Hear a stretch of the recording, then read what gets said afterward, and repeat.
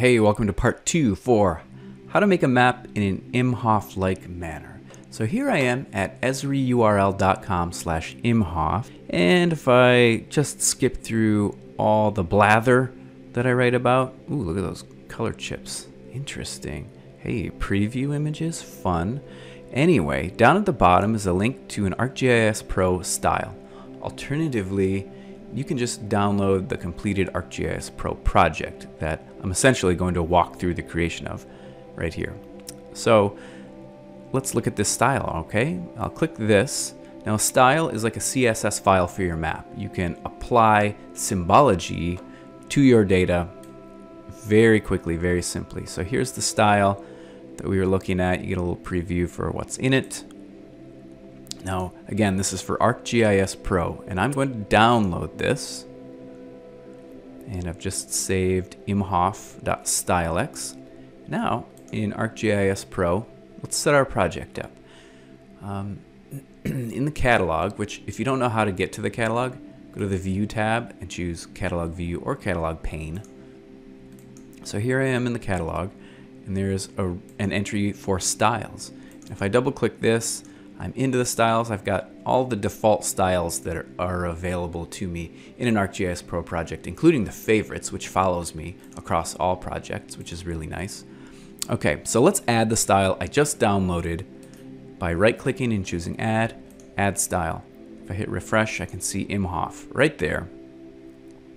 I hit OK. Now I've got Imhof in my project. Let's take a look. So I'll double-click this and I have a point symbol. I've got line symbols. We have polygon symbols, which are pretty interesting. But we are going to be looking at these color schemes. So how to symbolize a raster layer. We've got something for mist. Ooh, that sounds intriguing. I'll show you what that's all about. And then a couple hill shades. Let's start building our map, okay? We'll go to the map and I'm going to choose an imagery-based map. This is pretty important. Imagery is actually a pretty critical component to building up the Imhof-like technique. So we have an imagery-based map, and next I'm going to add just one more layer of data. And that's it. That's all it's going to take. And we, we take it from there. So I'll add data. And there's a lovely option here called Living Atlas. I'll explore Living Atlas. It says, hey, here's a cajillion things in Living Atlas. What do you want? And I'm going to search for a really great service called Topobathy. Topobathy is a digital elevation model of the entire world, including topography and bathymetry. So it goes, you know, from the bottom of the Mariana Trench all the way to the, the tip of the Himalayas and everything in between. And it rescales as I pan and zoom, which is fantastic, incredibly useful. If you don't want to use an image service or the Topobathy service, or if you maybe you don't want uh, bathymetry in your map, then just use whatever digital elevation model you have. Maybe you want to work with something local. That's cool.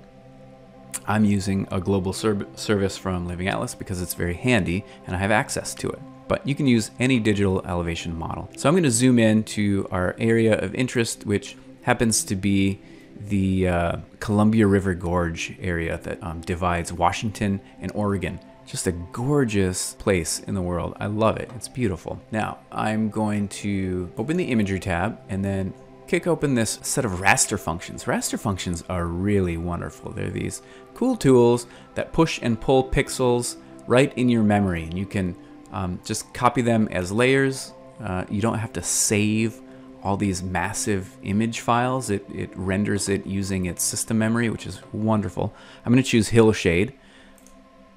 And as described in the previous blog post, which kind of dissected the technique of um, an Imhof-like uh, topographic map, I'll choose traditional Hillshade, which is just a single light source, and just hit OK. And it is just spectacular. That's gorgeous. Now I'll add a second hillshade technique, which is multi-directional. Now this simulates light from lots of different angles. And now I've got them both. So I can close this, done with the raster functions. Thank you very much, raster functions. And just to review what we're working with here, we've got imagery, the raw digital elevation model, traditional hillshade, which, you know what, I'm gonna call traditional,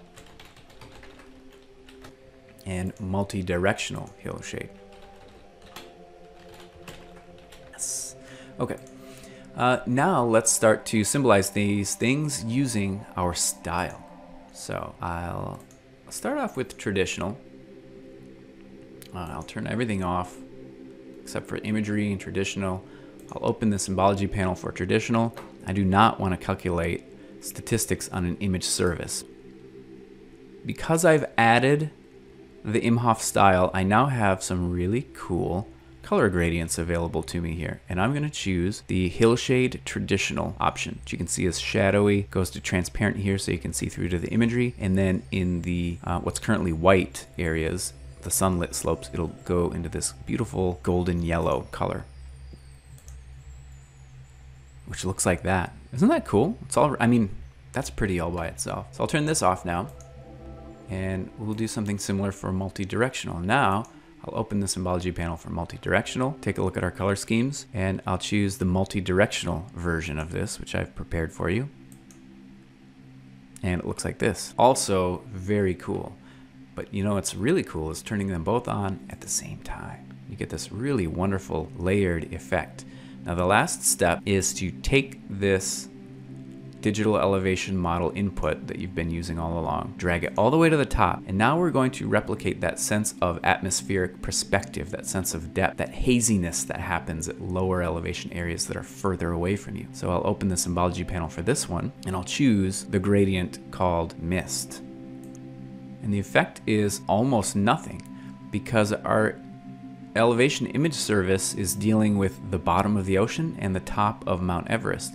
So what we want to do is change that rendering from the entire data set to be something called the dynamic range adjustment. So DRA will just take the lowest elevation in my view and the highest elevation in my view and normalize the color scheme from top to bottom based on only what I'm seeing in my current view. Check this out.